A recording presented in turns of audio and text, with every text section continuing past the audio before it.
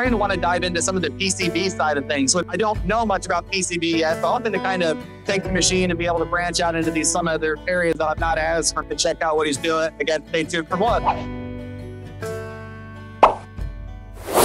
Everyone, Jason here at the Make Open Sauce 2025 with another creator, maker, and also Carvera Air user, Josh. Thanks so much for dropping by. In your workshop, you know, in addition to the Carvera, you probably have some other tools and things you like to use. Like, what's your typical, you know, workspace setup you guys to take advantage? Uh, so I do additive, but I also do, you know, traditional machining. So I've been in, I've had a desktop CNC for maybe 15 or 20 years in different brands and things like that. And this one fits in my shop the best. I've got desktop lathes, 3D printers, big welders, you know, regular hand tools.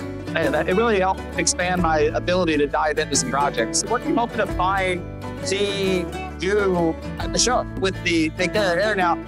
Starting to want to dive into some of the PCB side of things with the capability that it adds. Yeah. That I don't know much about PCB yet, so I'm hoping to kind of take the machine and be able to branch out into these some other areas that I'm not as familiar with. So cool projects you guys definitely stay tuned with and check out what he's doing. Again, stay tuned for more. Thanks everybody.